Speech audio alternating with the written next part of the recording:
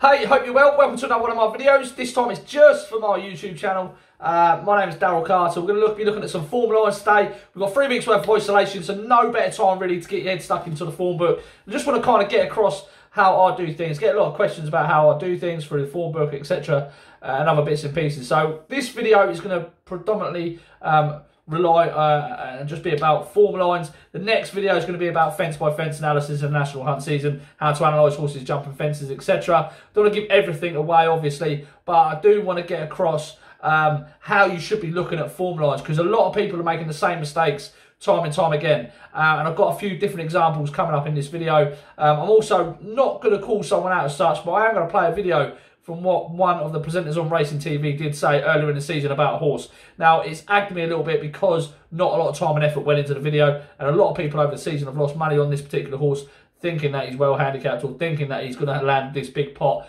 that this guy was certain he was going to do. But let's start. We're going to tick off some bare form, form lines to distances, um, over tracks and trips, um, track positions and biases and how you can relate that to the form being strong or not, um, and where to just watch out for uh, the bare form trap that a lot of people fall into. Hurdle form to chase form, can you relate it back? Going to explain some of that, uh, and then that will conclude this video. So, first form. So, I use a pyramid-based uh, scheme, as you can see uh, in front of you now. The first form line is at the top. That is the race that you've just looked at um, to see whether that form is going to work out. The secondary form line is next in the pyramid. Uh, and this is about how horses in behind that winner have fared. So how have they gone out next time? And you need to keep that as close to the principles of that first form line race as you can in terms of trip, in terms of ground, um, in terms of track even, not always the, the, uh, the, uh, the um, easiest thing to do. But if you can keep as close to those variables as possible, that will give you a definite outcome of how good that race was because horses need certain conditions to be at their best. So that's what you're trying to look for. You're trying to look for the horses that are beating other horses when they're at their best. Um, and that will be over a certain trip. And you can learn that through a horse's career where he's run um, what tracks he does like and what tracks he doesn't like, what ground he likes, what ground he doesn't like, and more importantly, what trip he likes and what trip he gets, stays, doesn't, he finds too sharp for him, etc. The third and the baseline of this pyramid, now if all these things stack up, it means it's strong form, exactly like a pyramid. Um, the third and final baseline that I use is collateral form. Uh, collateral form lines in terms of, okay, so you've got your first form line, you're then using this second form line to work out how those others fared. And then you're using collateral form line to find out how horses from those second secondary form lines have them fared. Okay, so it's a proper in-depth um, piece to use. It will give you a very clear idea on form. Um, and collateral form is just as important as the base layer. If horses are running terribly in the collateral form lines. Um, the secondary form lines won't be as strong, and that might mean that the first uh, form line is also weaker than you first thought it was. Okay, so there was a there's a good example actually yesterday. Uh, there was a bumper run yesterday. Ferny Hollow was the secondary form line for Frontal Assault who was the favourite for the bumper at Clonmel yesterday. Now, this horse was 13 to 8 favourite in the morning. He drifted out rightly so before the off to around 9 to 4. It was a pretty useful bumper. Um, Frontal Assault had finished third in behind um, Ferny Hollow. The second in that race had come out and won. Um, but but Frontal Assault was beaten six and three quarter lengths, and he was beaten very easily. Ferny Hollow won it on the bridle.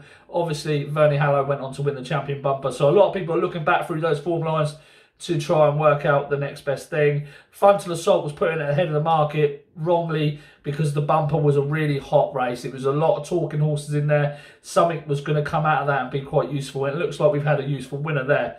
But um, what I want to talk about is how they put him in at favourite. Now, Frontal Assault went in at favourite simply on the bare form the bare former finished third, finishing third behind Ferny Hollow. Now, if you go back and watch that race, you'll see how easily Ferny Hollow did it. No more than a common canter. But they put Frontal Assault in as, as favourite because they felt that was the strongest form. Now, this is where a lot of people get confused about form and form lines.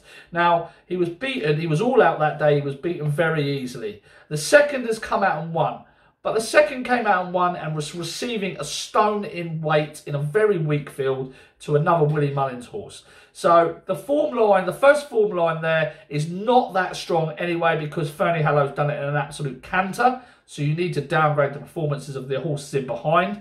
The secondary form line has then gone through the horse that finished second, who went out next time receiving a stone and won. There's cracks already in that form line. The fact that he only just won that race and he was receiving a stone in weight from a five-year-old. So there's the cracks again there, um, and there's collateral form lines all over the place that suggest that the frontal assault was far too short in the market at 13 to 8. He didn't win, of course. It's, a lot of this is going to sound like half the time, but he didn't win. Uh, it's just one example of how people are using the bare form of frontal assault, finishing third behind Ferny Hollow when he's done it in a very easily common canter as a reason to put him in as favourite. There was always going to be something that was going to come out of that race yesterday that was going to be much better than what final assault, uh, frontal assault was. So that is one of the key things to look for. Just because a horse finishes behind a very, very good horse doesn't mean that horse is also a very good horse. Um, I touched on this previously as well. The Asterion Forlonge Grade 1 Chanelle Pharma Novice Hurdle uh, win before Cheltenham. Now, I did an extensive video on this about how his form lines are not entirely straightforward and it was he was very overpriced and overbet in the uh, Supreme Novice Hurdle. Now, I'll put that link down there. I won't go onto that again, but um, you'll see that the form lines are not was not worth the price he was at 4 to 1 in the Supreme Novice Hurdle. I'll put that link down below. But I do just want to bring up quickly on Asterion Forlonge um, the fact that a lot of people will now tell you that the form was actually boosted by Easywork, who was nine lengths in second that day, uh, who went and ran in the Ballymore to finish second behind Envoy Allen. Now, there's one thing I want to make completely clear here, is that there's two differences between these races, okay? Two massive differences. One of them was over two miles, and the other was over two miles, five furlongs. One of them was on yielding ground, which is pretty much good ground. The other was on very soft ground at Cheltenham. Completely contrasting conditions. That is not a form boost for Asterion Forlonge. Now, the best thing you can do when looking at form lines is try and keep as much in the same bracket as you can. Just like we did on the secondary form line table, the track, the trip, the ground all can be the same to be strong form. A horse winning over two miles, five furlongs is not a strong form boost for a horse winning over two miles. If anything, it would suggest that the horse won over two miles, in this case a for Forlonge, has beaten a stayer in Easywork, who has done all his best work on soft ground anyway. So, keep in mind, it's very, very important that you keep these form lines to the trips and to the ground conditions as best as you can.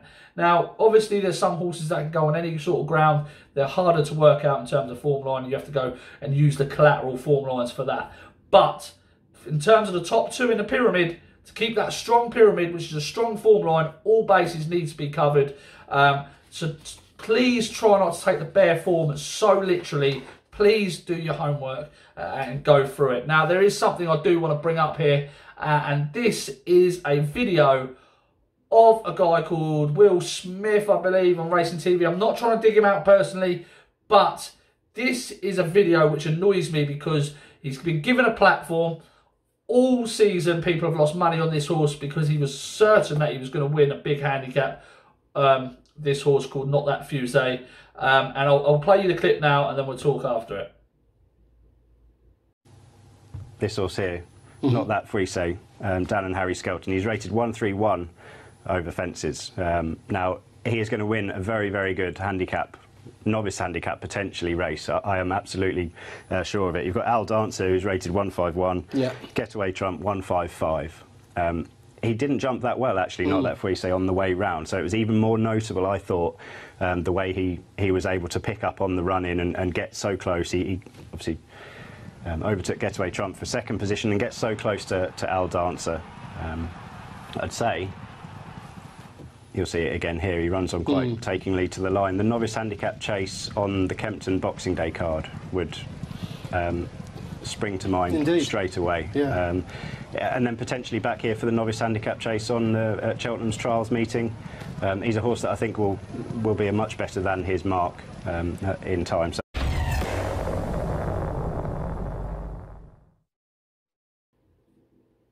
Okay, so we've just heard Will Smith talking there on this big platform, suggesting that he's certainly uh, going to win a big handicap. That's not that Fuisse because he finished behind Al Dancer and in front of Getaway Trump.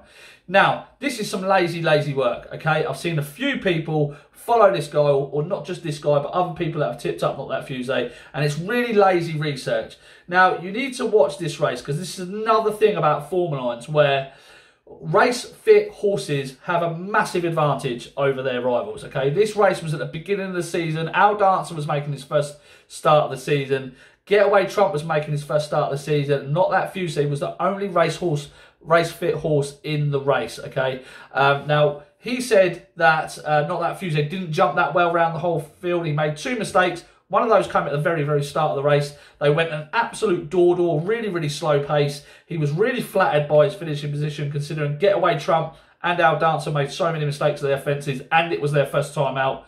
Um, and just because he was sandwiched in, two, in between two horses, he was taking the bare form of that literally, rather than doing the actual research and work to find out that not that Fuisse has not won a race for the rest of the season. Now, I'm trying not to dig people out. I don't want to, but it annoys me when people get these platforms. He's an ex-cricketer. They get these sort of platforms and they don't do the serious work that a lot of us behind the scenes are doing. Um, now, you've got you cannot be giving people false information. You need to do your work. Um, he's taken the first form line, the bare form, the literal form, and ran with it. He's not looked at the secondary form lines. He's not looked at who's race fit, who's not race fit. And it's something that really grinds my gears um, and something that needs to be stamped out. And people need to call out people who are not putting the right amount of work and right amount of time into this race. If it was as easy as every horse who was rated 20 pounds inferior of every other horse finishing within a couple of lengths, we'd all be millionaires. It's not. You've got to use the first, secondary and collateral form lines to make sense of how strong a race is. Um, the next thing I just want to talk about quickly is track bias. Uh, so we just had the Cheltenham Festival recently. There is a big track bias at Cheltenham. It worked the year before. It's worked this year. Horses that are running on the inside inside of the route, inside route on the track on soft ground have a significant disadvantage Many, many winners uh, at Cheltenham came round the outside. I've got the figure somewhere. Um, came round the outside. I'm sorry, I'm gone. came round the outside and won their races um, from a wide position. Uh, there's a few horses that are worth upgrading, and if you go onto the Racing Tips um, YouTube page, you'll see the Cheltenham Focus review that um, I've given some horses some upgrades for their performances there. But especially Cheltenham, it's worth remembering for next year that there is a huge bias when it's soft ground on those running on the inside. Many jockeys know it, many jockeys don't. Um, there was one race in particular where every horse that ran on the inside route throughout the whole of the race finished in the back half of the field. So it is really quite significant, um, especially if you're like betting and running and you see your horse lining up on the inside. If they're not pulling wide, coming down the home bend, um, they have probably exerted too much energy. So that's definitely worth having a look at. Okay, the last thing about form lines today I wanted to talk to you about is um, comparing the hurdle form to chase form. Now, there's a big, big issue here because I've seen a lot, a lot of people do it on Twitter. Um, Fakir D'Oudairies is a perfect example, actually. Um, so Fakir D'Oudairies was running over hurdles and he improved for fences. Okay, the key word there is he's improved for fences. So a lot of people are using his form lines over fences and using them back over hurdles. Now, you need to compare the two races, and I've done that just here. You'll see that D'Oudairies can get in tight to his hurdles. Now, this is just a quick one example. Um, I'm not cherry picking them. This He was like this the whole way around the Punchestown behind Fusil Raffles. Um, he gets in too tight to his um, hurdles and he was actually losing ground. Whereas if you watch him over a fence, he absolutely pings it and makes ground. He's a sensational jumper. He really is. He's going to have tons of improvements to come. And Samcro is gone. Samcro is gone. Fakir D'Oudairies in the wing mirrors of Fakir. And Samcro is gone.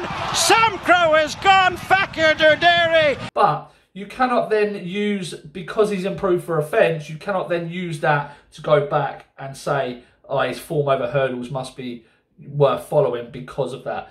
They're two contrasting disciplines. And you really need to separate that. But the one key thing you do really want to take away from this is that jumping fences and jumping hurdles are different techniques.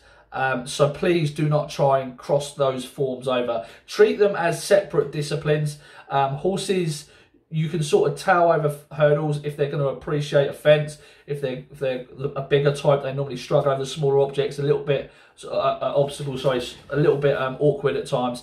But they do find a rhythm, and a lot of horses respect fences much more than they do hurdles. In this case, Fakir D'Oudairies, he stands off his fence and he, he takes it in his stride. So um, he's a fantastic horse. He's, he's, he's, going to be very good in the future. But remember, let's keep those form lines through that pyramid. Just remember the pyramid. If the first form line you're looking at looks extremely strong, go through to the second form line. If that's extremely strong, have a look at the collateral form line after that. If those form lines, they don't have to be winners, but if they are strong, if they're finishing close up, if they're running well, then that is a good sign. That will give you a strong pyramid look to your form lines. But one word of warning, never rely on the bare form of things.